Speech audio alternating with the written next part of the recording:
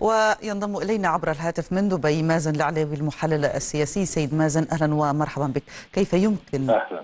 أن نقرأ أولا هذه الزيارة وأهم الرسائل التي خرجت من هذه المحادثات؟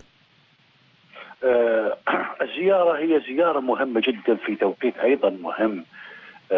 الأوضاع في المنطقة حرجة جدا. آه هناك عدم استقرار في اليمن في سوريا في آه دول أخرى. بشكل عام هذه الزيارة آه تمثل آه رؤية للدولتين من أجل وضع خيارات للحلول ومخارج للأزمات، كل من الدولتين لها ثقلها الإقليمي والدولي، الإمارات أو السعودية. و كلاهما تقودان التحالف العربي لتحرير اليمن وتدعمان الجيش الوطني اليمني.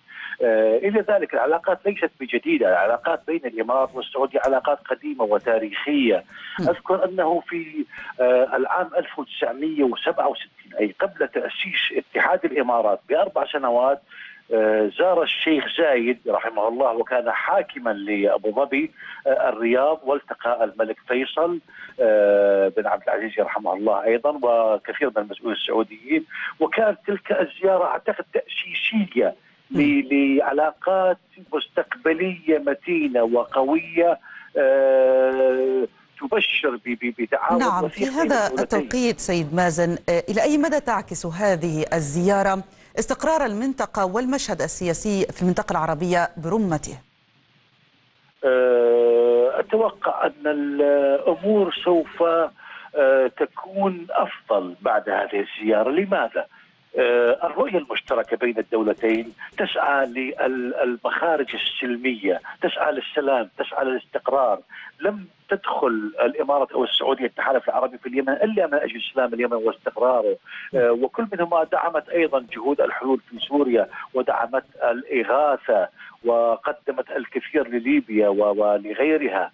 إذا الموضوع بالنسبة للزيارة هو آفاق ربما تكون مختلفة عن السابق. عندما يجري اللقاء وجها لوجه وتجري المباحثات بشكل متين أتذكر قبل يومين أعتقد دعمت الإمارات والسعودية اليمن اغاثيا وانسانيا بنصف مليار دولار.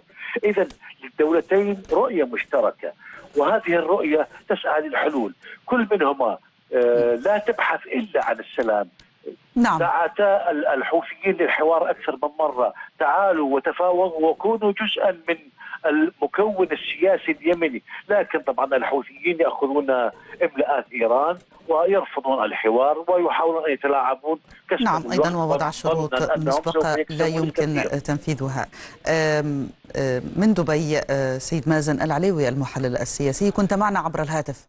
شكرا جزيلا لك.